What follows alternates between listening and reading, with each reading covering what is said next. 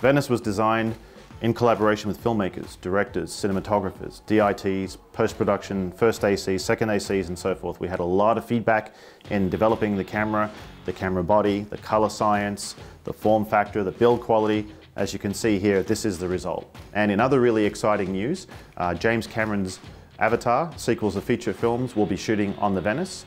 Uh, we have a video that you can link over to on YouTube. James Cameron talks about how he selected the Venice, why he selected it after testing all of the cameras in the market. So really exciting development there as well.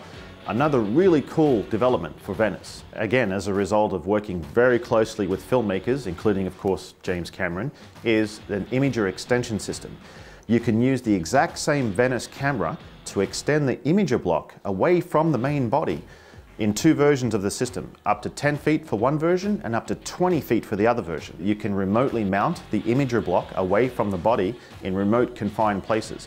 Cars, gimbals, cranes, I mean you name it, you could do it. You can use the exact same camera body as what you have right now. It does not require a specific or a unique Venice camera system. You detach the imager block from the main body of the camera, you attach the plate to the front of the body, you attach the other end of the cable system to the imager block, which takes under two minutes to do, and you're ready to go.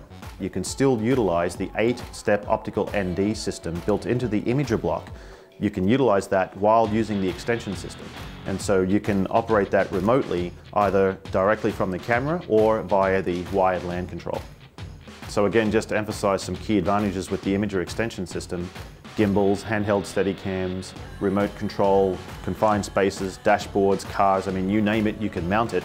And again, it does not sacrifice any image quality whatsoever. It's exactly the same performance as if you were using the imager attached to the camera body.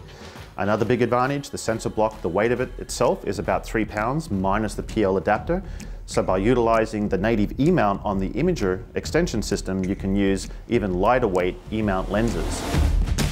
For more information, please visit sony.com forward slash Venice. Thanks again for watching.